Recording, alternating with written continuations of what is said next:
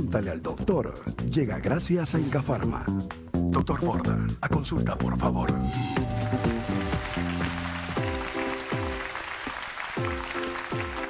Muchísimas gracias amigos y como siempre nos corresponde el bloque en el cual tratamos de contestar algunas de las preguntas de nuestro público asistente. Esperamos dar con la solución. ¿Quién tiene la primera pregunta, por favor? Señora, ¿usted cómo está? Bienvenida, muchísimas gracias. Venga por acá, por favor. Muy amable. Gracias. De nada, cuénteme, por favor. Quería saber, doctor, ¿qué indica el exceso de sed? Cuando uno tiene sed es porque ha gastado más agua de la que su cuerpo necesita, por lo tanto, como reflejo, Sí. lo que hace es el cuerpo, el cerebro indica, toma agua, toma agua, toma agua. Claro. ¿De acuerdo? Ahora, ¿cuándo sucede esto? Por ejemplo, el exceso de consumo de alcohol produce Claro. sed de por sí. Luego existe otra cosa, que es comidas muy condimentadas. No sé si le ha pasado que después de comer así un arroz con mariscos y recontra condimentado con ajicito, pasan dos, tres horas y el cuerpo le Sí. pide agua. Porque generalmente todos estos eh, comidas tienen mucha sal, la sal retiene líquidos y el problema es al final termina uno tomando mucha agua. Hay que descartar la diabetes. Uno de los síntomas principales de la diabetes es el aumento de sed, tomar mucha agua o también se llama polidipsia. Y esa es una cosa que uno debe solucionar o debe descartar con un simple examen de glicemia. ¿Le Claro. parece? Sí. Muy bien, muchísimas Gracias, gracias. A usted por segunda. Pase por acá, señora. Mil gracias. Venga por acá. Gracias. A ver, ¿no la puedo ayudar un poquito? Perfecto. Mil gracias, señora. Dígame su pregunta, que estamos a la orden. Doctor, buenas tardes. A ver, ahí. Mi pregunta es la siguiente. ¿El Alzheimer es hereditario? Señora, solo entre el 1 y el 2% de los casos de Alzheimer son hereditarios.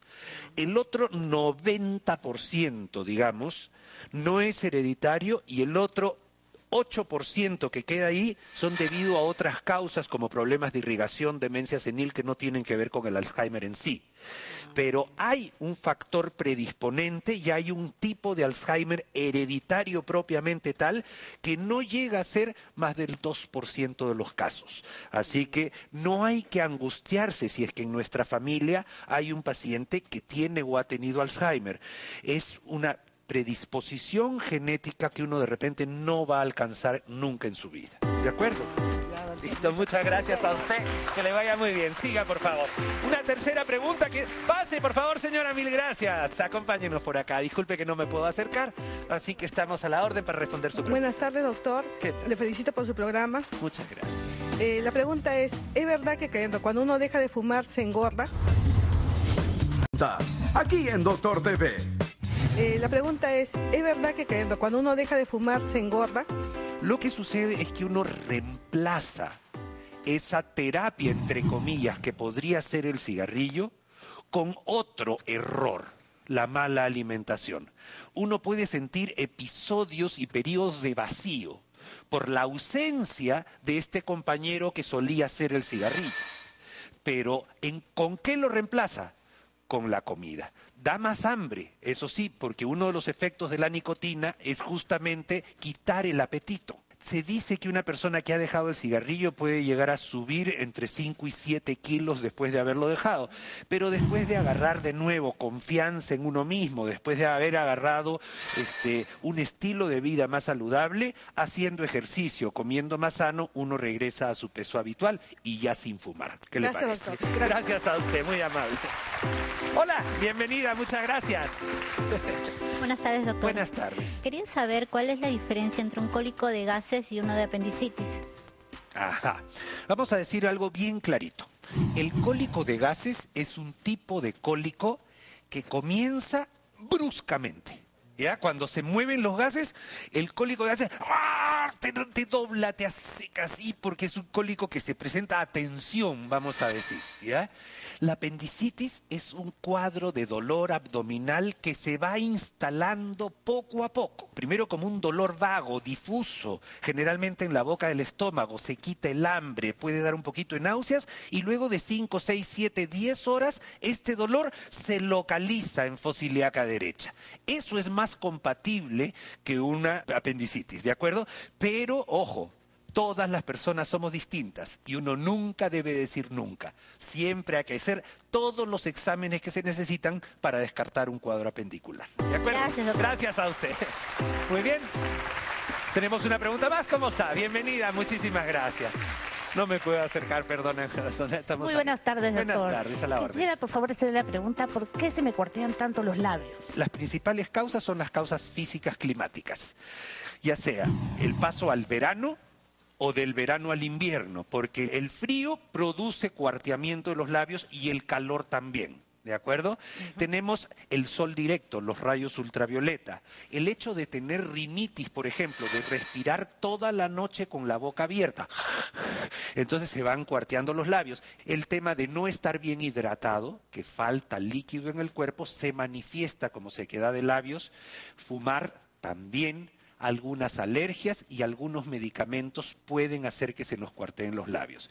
Sugerencia, humectarlos con manteca de cacao, que es baratísima y puede- tiene muchas propiedades para volver la humectación a las mucosas del labio. Gran consejo. Muchísimas gracias, doctor. Gracias a usted. Permiso.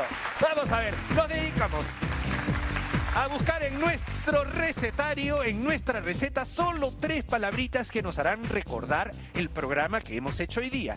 Y hemos hablado de la gastritis. Muchísimas personas, muchas personas se quejan de que tienen gastritis, pero la verdad es que no saben que gastritis significa inflamación de la mucosa del estómago. La gastritis no puede ser acá abajo, tiene que ser acá arriba, donde está el estómago. Dolor, ardor, reflujo, náuseas, acidez, indigestión, pérdida del apetito son algunos de los síntomas que nos dan la gastritis. Pueden aliviarlo. Primero, de todas maneras, cuando uno tiene a repetición estos signos, debe acudir un gastroenterólogo para realizar una endoscopía de control. Ese es el tratamiento y eso es lo que uno debe hacer. Muy bien.